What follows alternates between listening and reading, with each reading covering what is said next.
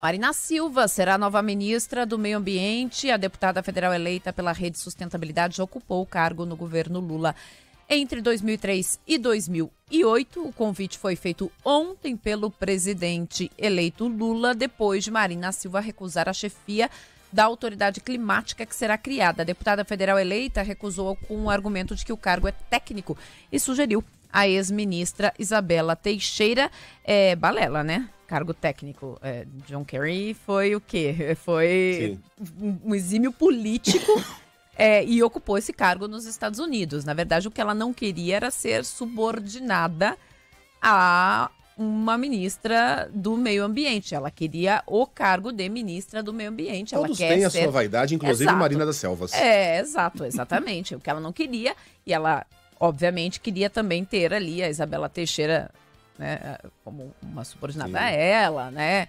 E a Isabela é uma figura que circula muito no cenário internacional. A Isabela está há anos, né, circulando em Nova York e, e falando sobre esse assunto. Acho que Isabela, se for realmente para o cargo de autoridade climática, é uma figura muito importante nisso, né?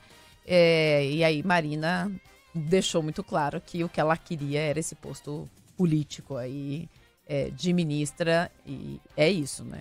Foi isso. Balela, você desculpa.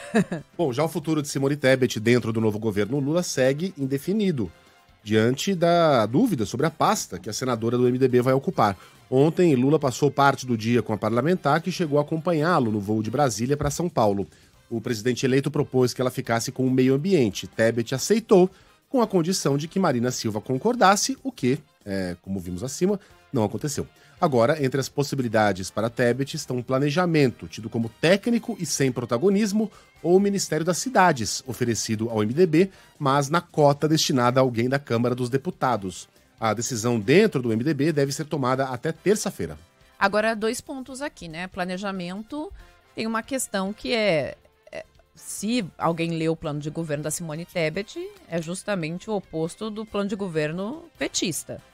Se ela fosse para o planejamento, ela iria entrar em coalizão com Fernando Haddad, ou pelo menos dentro dos planos. Embora diz que Fernando Haddad é um entusiasta de, de Tebet no planejamento.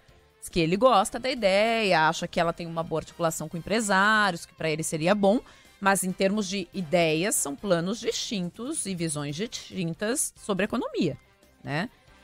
Agora, para ela ir, por exemplo, para o Ministério das Cidades, essa é uma vaga que foi oferecida ao MDB. O MDB tem que bater o martelo. Se ele aceitaria botar ela na cota Não aceita. do partido. Teria que aceitar. E o MDB estava dizendo que ela é da cota pessoal de Lula e não da cota do partido, embora ela seja uma MDBista. Então é isso que está sendo discutido. Mas me parece uma coisa que para mim foi novidade ontem, que a conversa entre ela e Lula foi muito boa. E que ela deixou muito claro que ela não precisa ter um cargo no governo, né?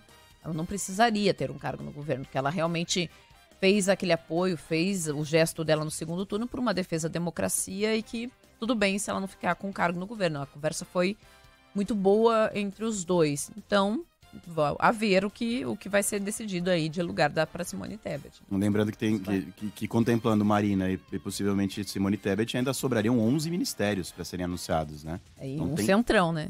É, E um um centrão, a, ser, centrão inteiro. a ser agraciado.